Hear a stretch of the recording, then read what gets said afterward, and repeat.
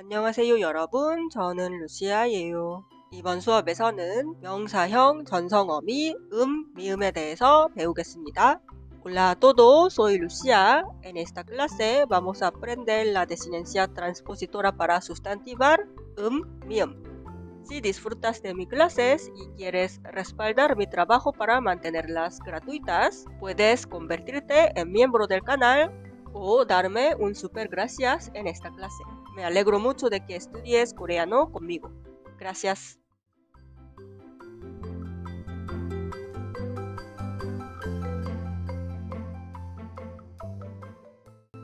수업 시작합니다.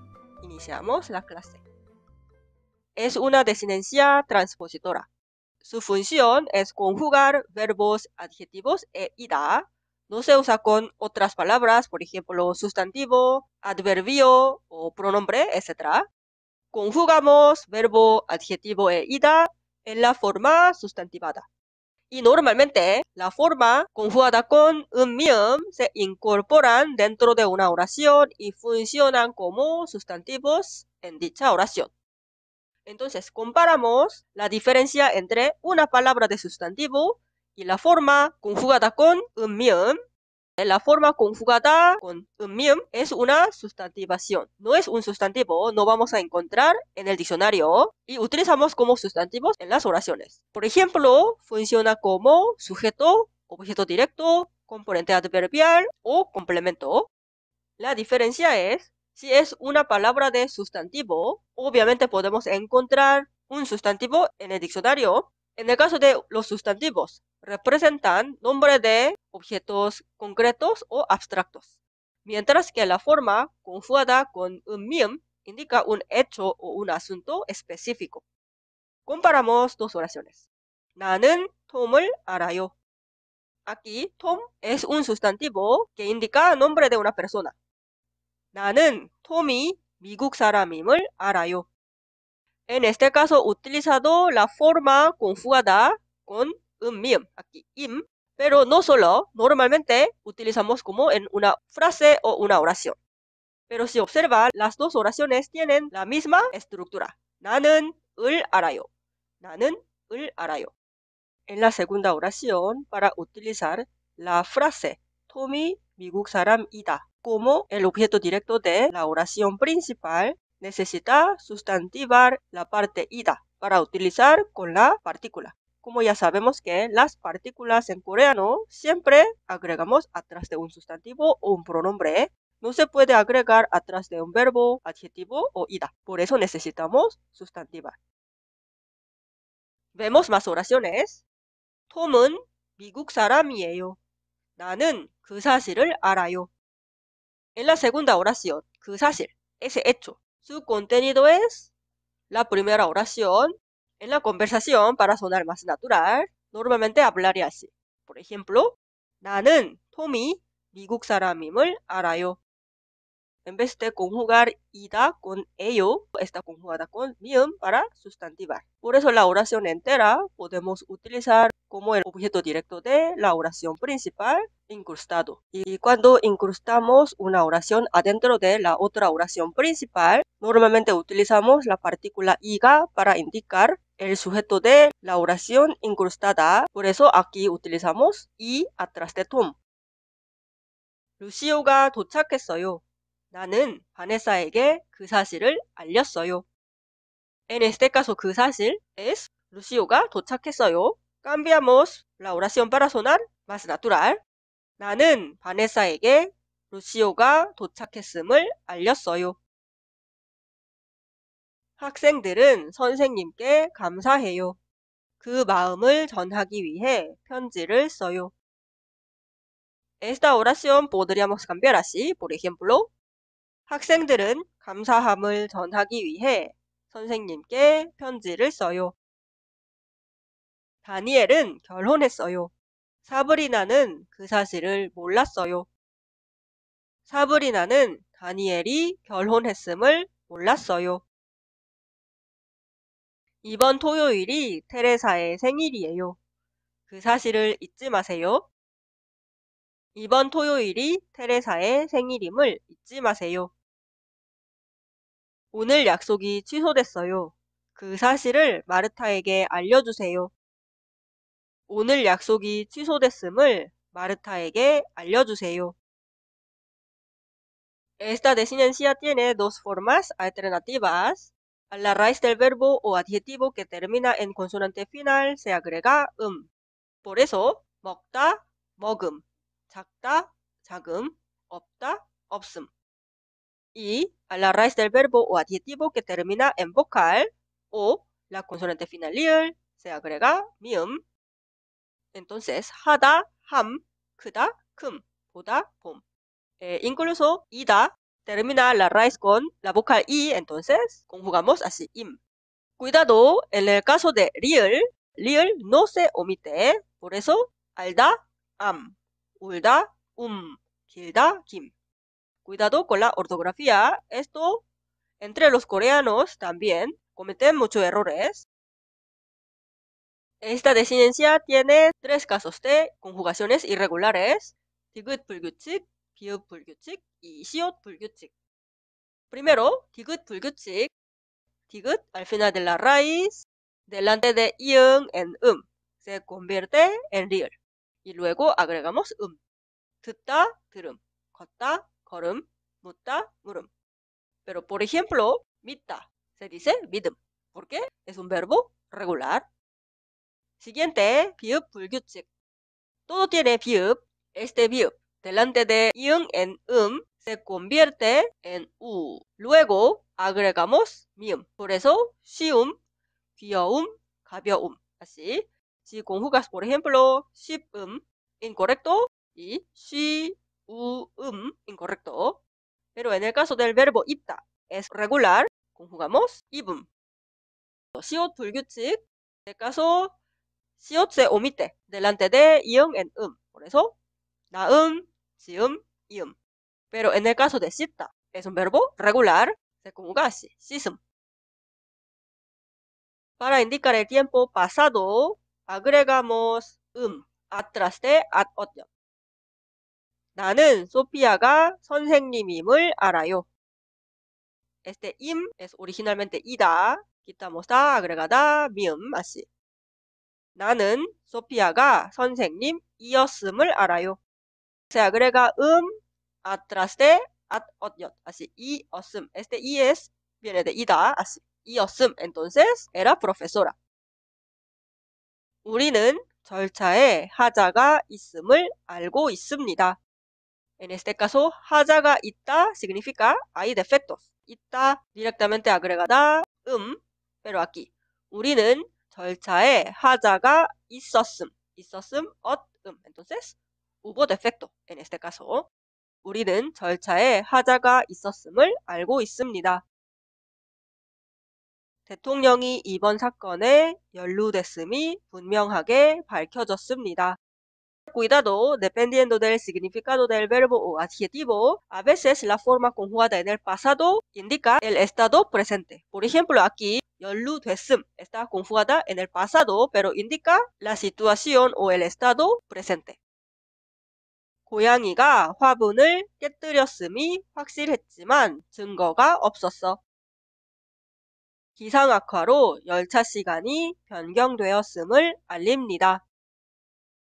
그 사람은 자신이 무죄임을 주장하며 시위를 이어갔습니다.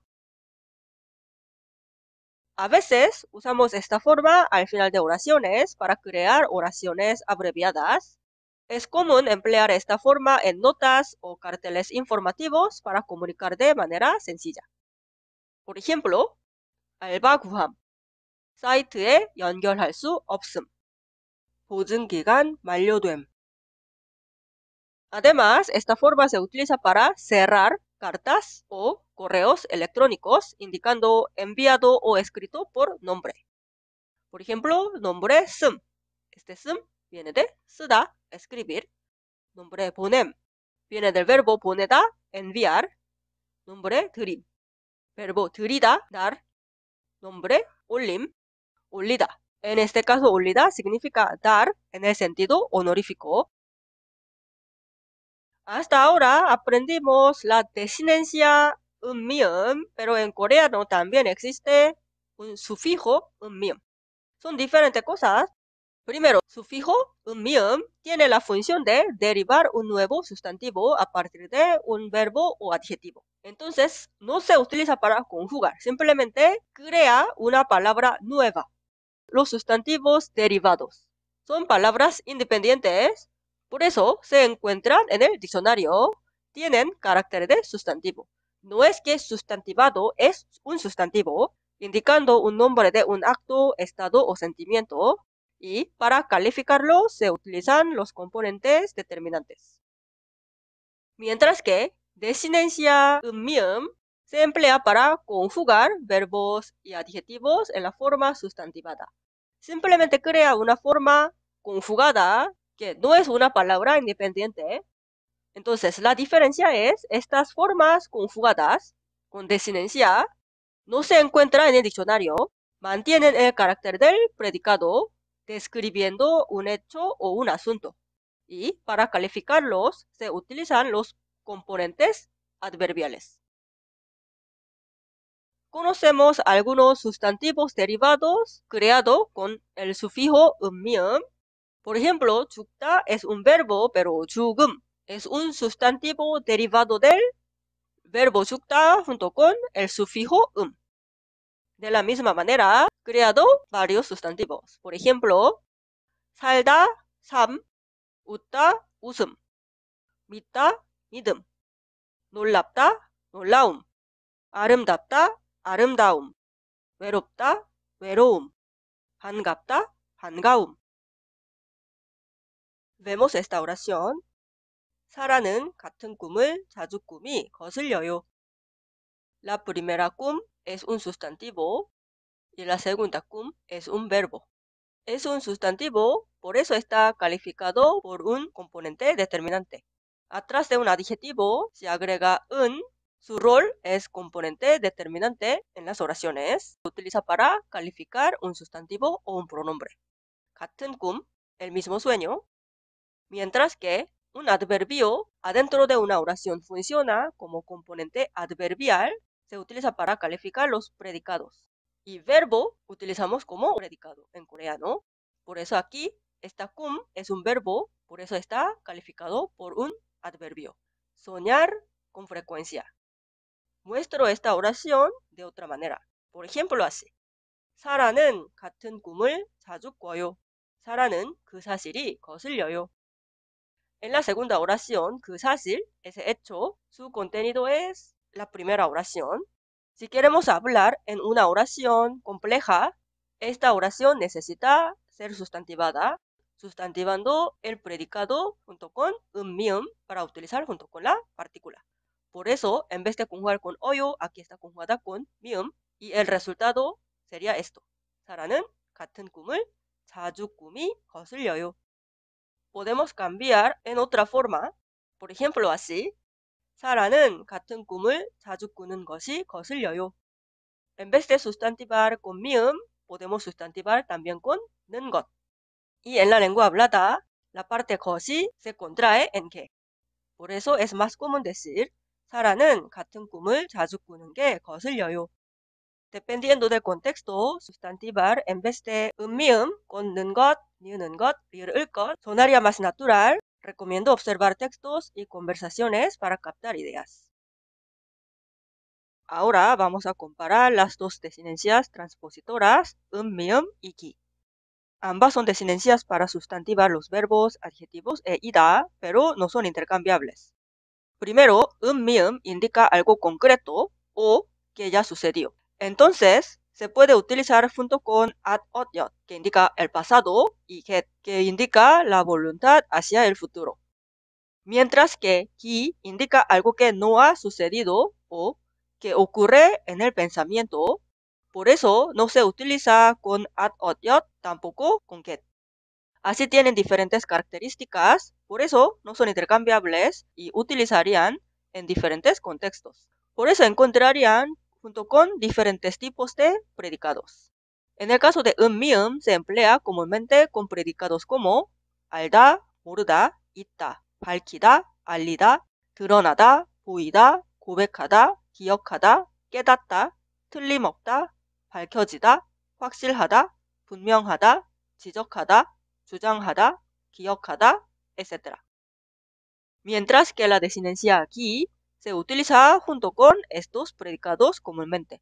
싫다, 좋다, 귀찮다, 편하다, 쉽다, 어렵다, 힘들다, 알맞다, 적당하다, 기대하다, 바라다, 원하다, 좋아하다, 싫어하다, 계획하다, 결정하다, 정하다, 결심하다, 약속하다, etc. Esta vez comparamos la desinencia 음미음 y la frase 는 것. Ambas son para sustantivar los verbos adjetivos e ida. Dependiendo del contexto, pueden ser intercambiables, pero no siempre. En el caso de 음미음, tiene limitaciones de los predicados con los que se utiliza, como hemos visto recientemente. Pero en el caso de la frase 는 것, se pueden utilizar con casi todos los predicados.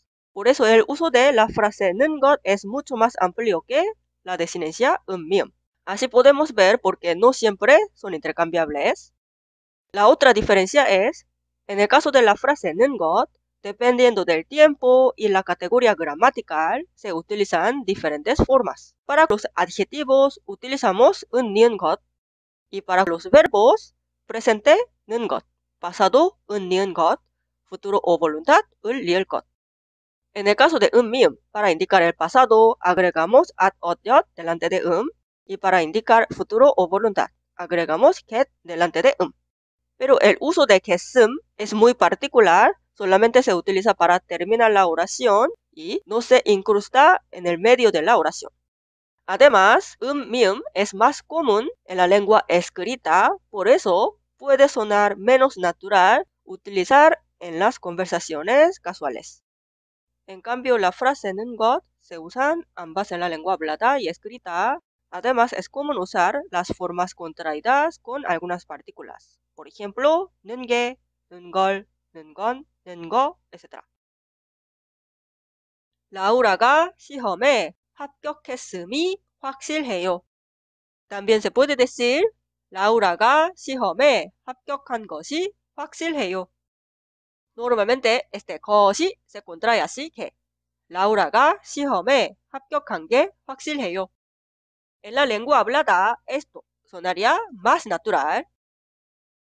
훌리아는 나탈리아가 다음 달에 결혼함을 몰랐어요. hablar así suena menos natural. Normalmente hablaría así. 훌리아는 나탈리아가 다음 달에 결혼하는 것을 몰랐어요. aquí 것을 se contrae así también. 훌리아는 나탈리아가 다음 달에 결혼하는 걸 몰랐어요. También esta sonaría más natural. Ahora, completa las oraciones con um o mium. Pausa el video ahora para hacer los ejercicios. Vemos las oraciones completas. 1번 마리아는 사과하기에 이미 늦었음을 깨달았어요. 2번 다니엘은 자신이 실수를 했음을 인정했습니다. 3번 다음 달부터 전기세가 인상됨을 알려드립니다. Ahora el dictado escucha y escribe las oraciones coreanas. Si necesitas más tiempo para escribir, puedes pausar el video cuando quiera. 1번 문 여는 소리가 나서 아이들이 돌아왔음을 알았어요. 문 여는 소리가 나서 아이들이 돌아왔음을 알았어요. 문 여는 소리가 나서 아이들이 돌아왔음을 알았어요. 문 여는 소리가 나서 아이들이 돌아왔음을 알았어요. 문 여는 소리가 나서 아이들이 돌아왔음을 알았어요. 2번 그 변호사는 자신의 고객이 무죄임을 증명해 냈어요. 그 변호사는 자신의 고객이 무죄임을 증명해 냈어요. 그 변호사는 자신의 고객이 무죄임을 증명해 냈어요. 그 변호사는 자신의 고객이 무죄임을 증명해 냈어요. 그 변호사는 자신의 고객이 무죄임을 증명해 냈어요. 3번 우리는 경기가 취소됐음을 모르고 경기장으로 가고 있었어요. 우리는 경기가 취소됐음을 모르고 경기장으로 가고 있었어요. 우리는 경기가 취소됐음을 모르고 경기장으로 가고 있었어요. 우리는 경기가 취소됐음을 모르고 경기장으로 가고 있었어요. 우리는 경기가 취소됐음을 모르고 경기장으로 가고 있었어요. Ahora vemos las oraciones.